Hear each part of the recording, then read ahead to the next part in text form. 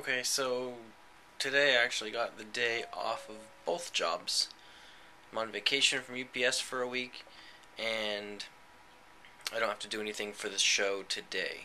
So I spent today editing the last four days' videos, which I have all uploaded, and now I have to make today's really quickly. Just this. So I will see you again tomorrow.